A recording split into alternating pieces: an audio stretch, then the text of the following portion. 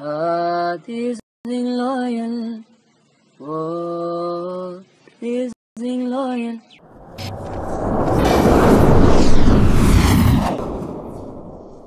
What's going on YouTube? KG here back with another Transformers Forged to Fight video and it looks like we're finally getting some changes to Transformers Forged to Fight. So it may not be exactly the changes that we want.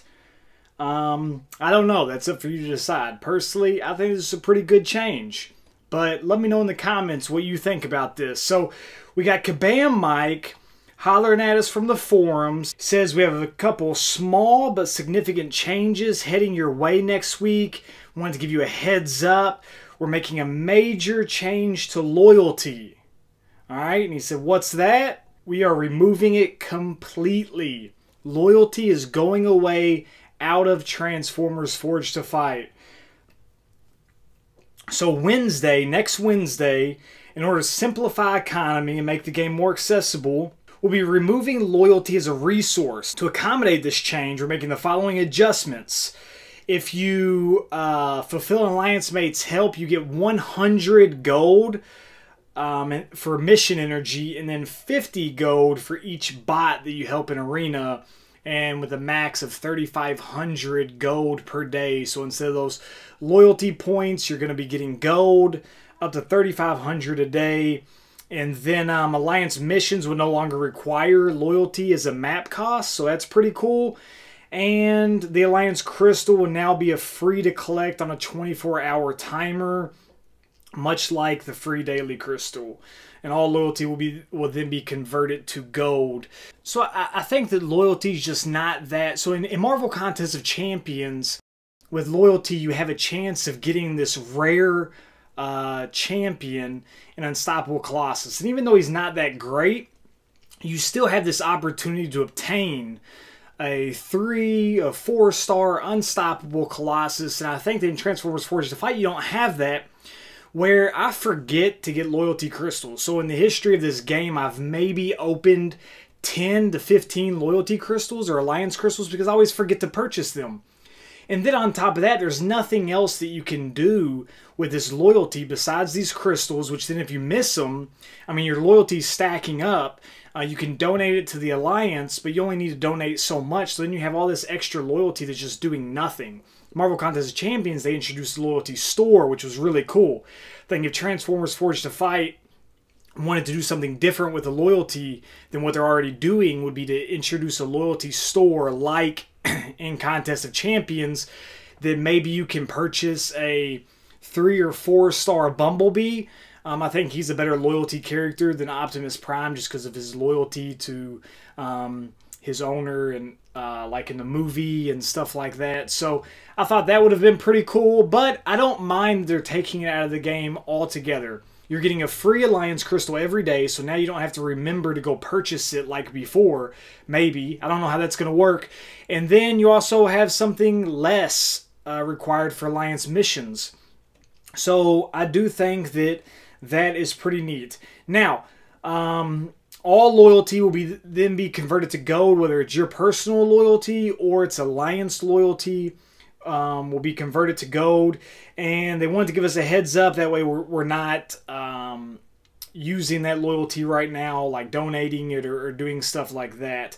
Additionally, we're going to be making another couple changes to the help request as they pertain to mission energy, increasing the frequency of when you're allowed to request help for mission energy. So you can now request energy every hour instead of every six hours. Now that's pretty cool. Not that there's really enough content for you to have to do that, but early on when you're trying to finish like uh, you know map one um, and all or act one, that'd be pretty useful and pretty beneficial when you're trying to build up your levels and all that stuff. So that is pretty cool. And you will be granted three energy simply by requesting help so you can take another step or two and possibly complete a fight right away rather than waiting for alliance mates to fulfill that. Now, that is neat because sometimes the further along you get, when a map may just be around the exact same energy you have, you know, you're like one away from the boss and you got to press help and then you got to like wait 10 minutes or so for you to get enough energy to move on. But you're going to be getting this three energy just by pressing help and that could be beneficial sometimes. Um, I, I definitely see where that could be beneficial. So that's it for now. We have a lot more cool improvements coming your way with our 2.0 release, which lands next week and more information will be available on that early next week so keep your eyes open.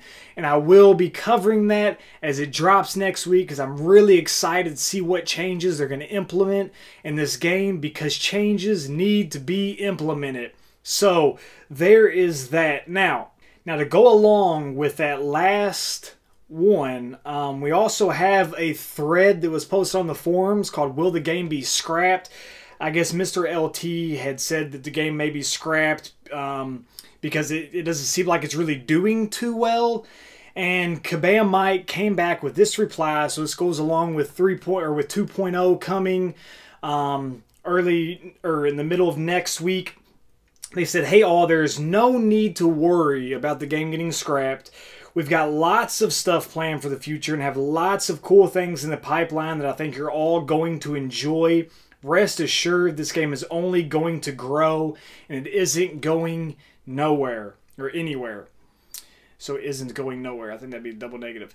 Isn't going anywhere. So I have been reading this um, in some different areas where people are afraid that the game, because we do the people those of us that like this game we see that they have something good here they have the the bones of something good they just need to build on that and add some meat to it and really add some life to it. So they have the bones of something that we really like, something that's really fun to play. They just need to grow on that. So check back next week to see what that is that they're going to be implementing in 2.0. Let me know in the comments what you think the changes will be, what you would like to see, what you want to see done away with. Let me know what you think about this loyalty. Do you care? Do you not care? Actually, there's a poll right here. Let me know what you think about the loyalty.